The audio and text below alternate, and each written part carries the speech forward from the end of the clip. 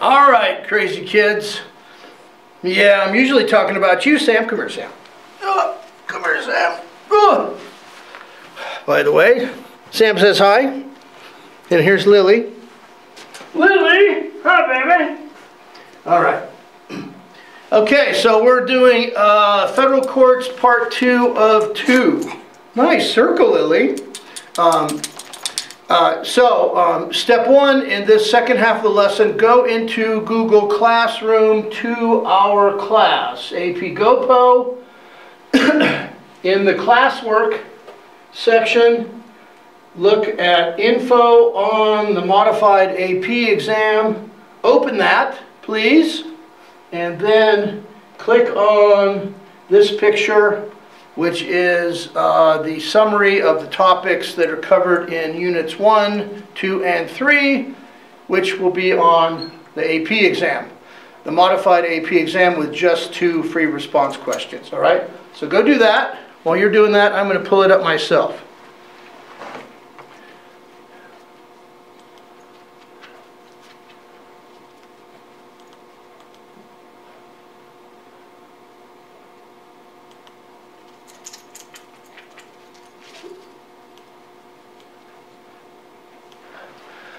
All right, so here we are. So this is what is going to be covered on the AP uh, exam. There's going to be a free response question.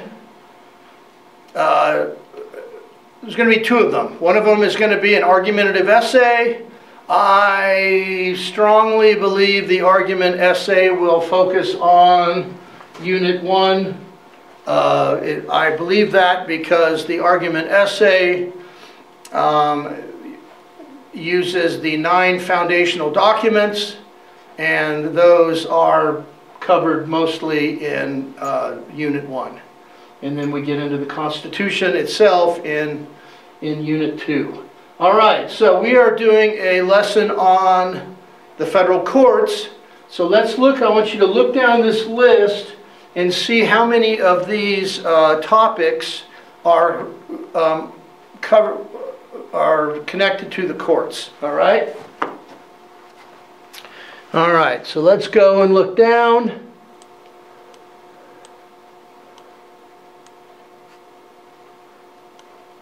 And we have a bunch. The judicial branch.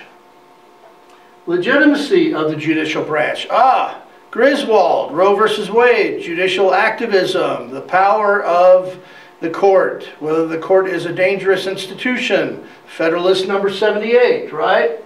The court in action. Uh, checks on the judicial branch. Um, okay, bureaucracy, bureaucracy, bureaucracy. Policy and the branches of government a connection between the judicial branch and the legislative branch, uh, which would be what? Ruling laws unconstitutional and judicial review.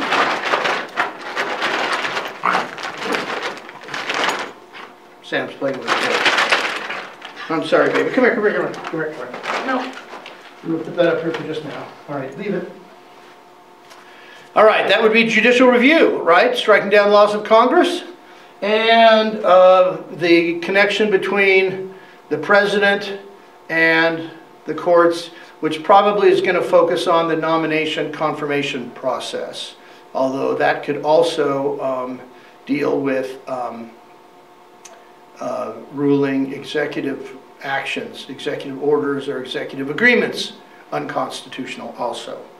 All right, so um, we are now going to go, now go back from this and open up the PowerPoint that I have attached and go down to um, AP issues. I'm going to ask you to pause the video right now and get in your Constitution and read two clauses, um, I'm sorry, two provisions.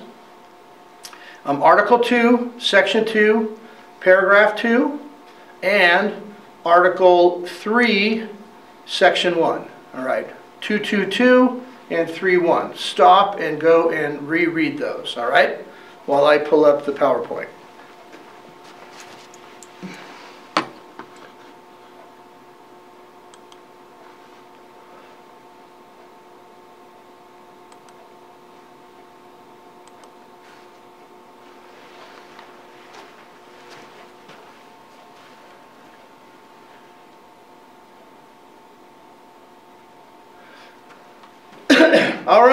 all of these are either tidbits or possible main focuses of a potential free response exam.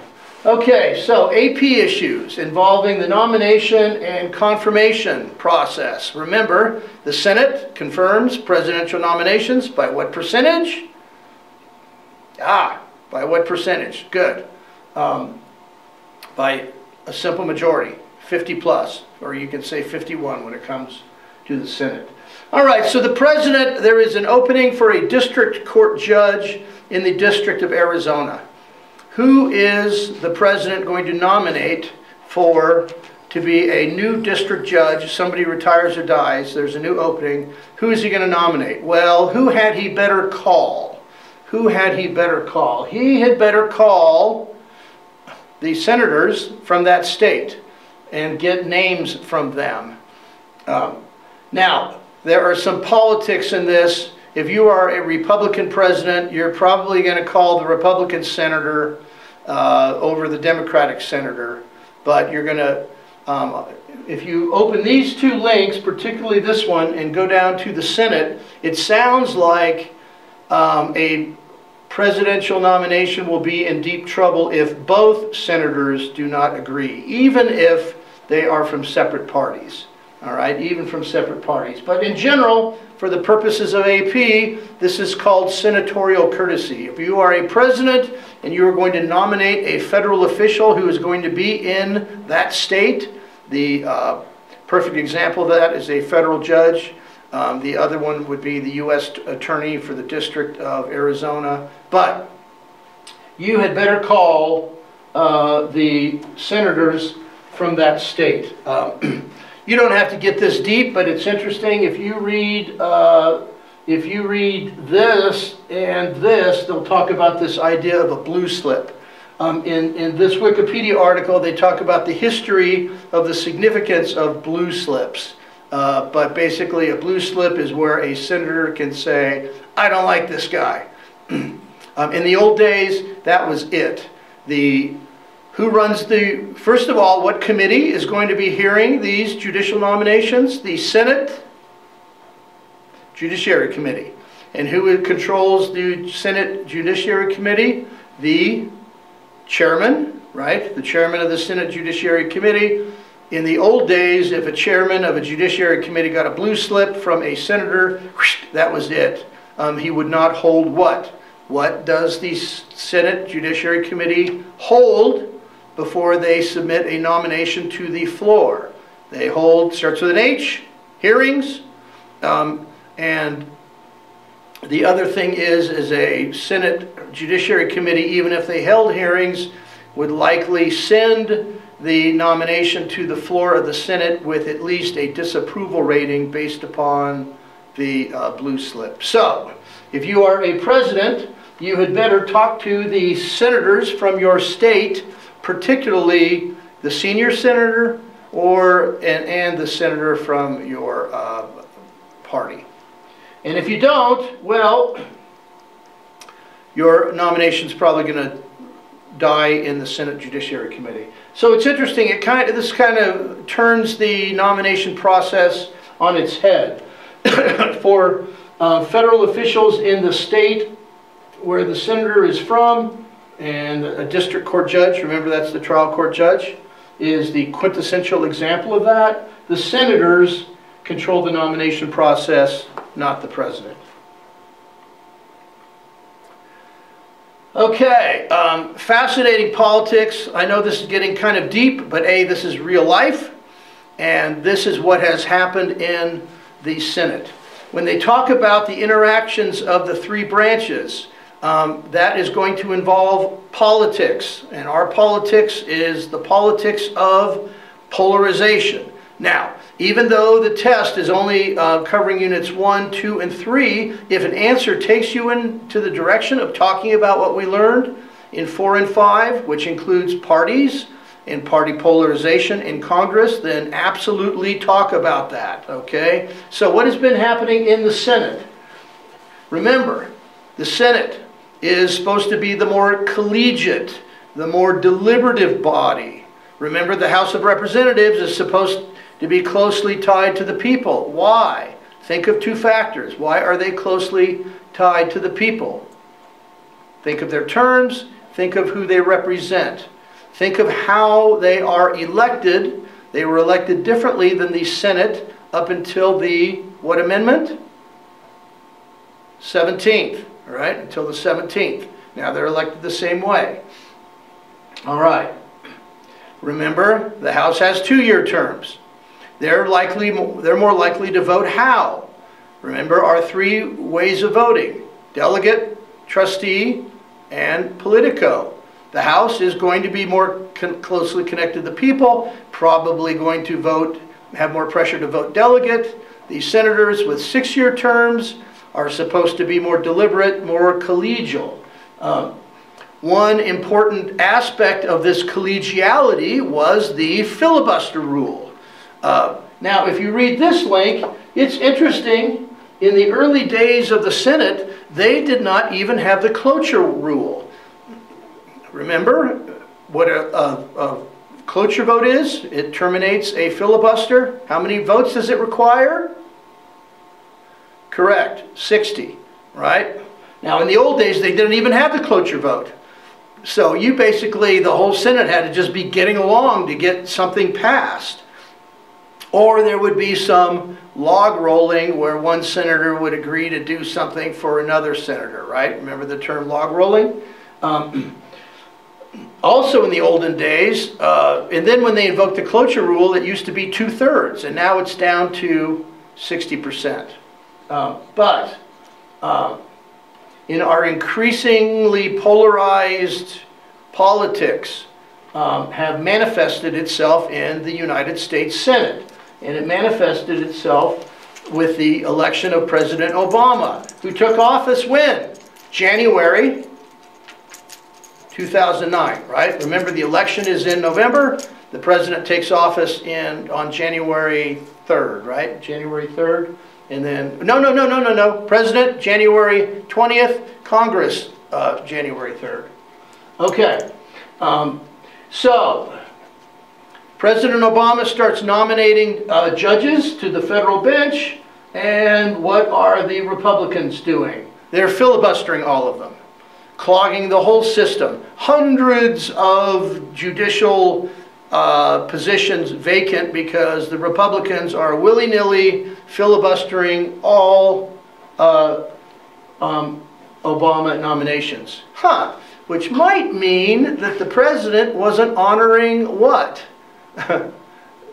maybe he wasn't honoring senatorial courtesy. Or maybe the senators, if they were Republicans ones, just gave him names that he could never appoint, right? Just gave him like arch conservative people, and he's like, no, I look, you have to work with me. I'm a Democrat. You got to give me names of moderate people.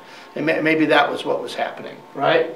But okay, so the Democrats get frustrated. Now remember, under Article 1, I forget where it is, Section 5, whatever, so it's either in Section 4 or 5, it says each house, each chamber can, can make the rules for their proceedings. So the filibuster is constitutional in that it is a Senate rule that the Senate made pursuant to Article 1. Okay? Now, which means if it's a rule, it can be changed by a simple majority vote in the Senate, which is interesting. So with a simple majority vote, you can change the filibuster rule, which requires 60 votes. All right? And I don't think you can filibuster a rule change, just laws. Or it used to be you could filibuster a law or you could filibuster a nomination. You could filibuster a nomination. In 2013, the Democrats were so frustrated, the Democrats in the Senate and the President were so frustrated, now they had the majority in the Senate. But they couldn't get any nominations through because the Republicans were doing what? Filibustering all of his nominations, or many of his nominations. So, and this was a bold move. Nobody thought this, any, either party was going to do this because it was going to erode this long foundation of collegiality and cooperation of, of the Senate being the most deliberate body in the world. Um, and the filibuster was part of that. So the Democrats changed the filibuster rule no more filibustering nominations, including judges. And, ooh, they were stupid on this, and including cabinet level positions. The only positions that you could still filibuster were Supreme Court justice nominations. That was the rule that the Democrats changed in 2013. Now, what happened? Elections happened. And in, oh, by the way, were they thinking about this? Were they thinking about this? Well, hold off on this, all right? We're going to talk about it in the next slide. Okay, so now what happens? Well, one thing, we have a midterm election in when? 2000. Ah, did you get it? 2014? Okay, we had a midterm election in the two, two, uh, 2014, and guess what happened in the midterm? By the way, what happens in midterm elections? Whose uh, coalition fails to show up in midterms?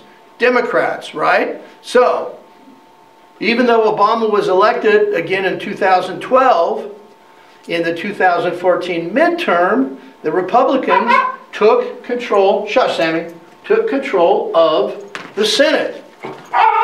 Stop. Sam, quiet. All right, now, when does Obama leave office? He leaves office in November 2006. What? Ah, yeah, yeah. He doesn't leave office in November 2016. The election is in 2016. He doesn't leave office until January 2017. My slide might be wrong because of that. Okay? All right, so, and then one of the most conservative justices on the Supreme Court, um, Justice Scalia, an original intent guy, an originalism, original intent guy, dies suddenly. And now it's Obama has the right to nominate a new justice of the Supreme Court. He nominates a guy named, oh, what was his name? Uh, Garland. Uh, a moderate, not a crazy liberal, just a moderate, a white guy. Um, he had, he had, he had, when he had a Democratic Senate and he was new, uh, the, uh, he had gotten through Elena Kagan and Sotomayor, two Hispanic females.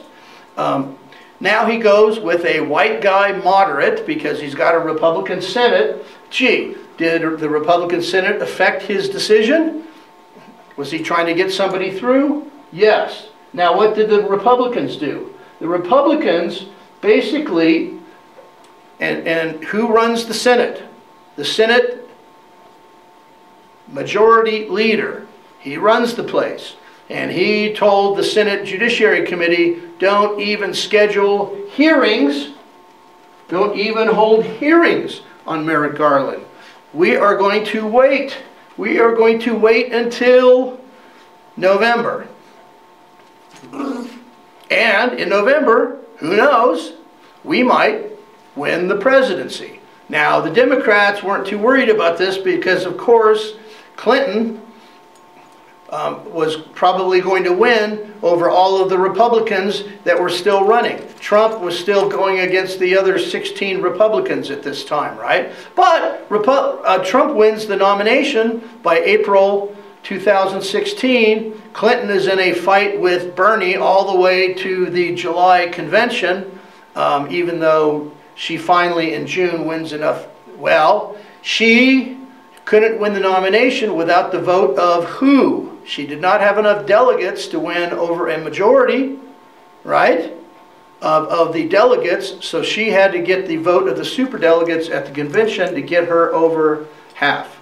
Hold on, I'm going to check my clock because um, these uh, videos only last for... Shush, Sammy! Quiet! Quiet. Go lay down.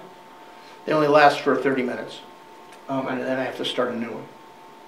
Okay, so you guys get it? So, the Republicans, boy, is this party politics in the Senate? This is party politics on steroids, right? Because apparently, from my research and from what I heard from many news sources, this had never been done before. Never was the Senate controlled by one party so bold in stopping a nomination to the Supreme Court by the president of another party. With, with okay, so that was from February to January.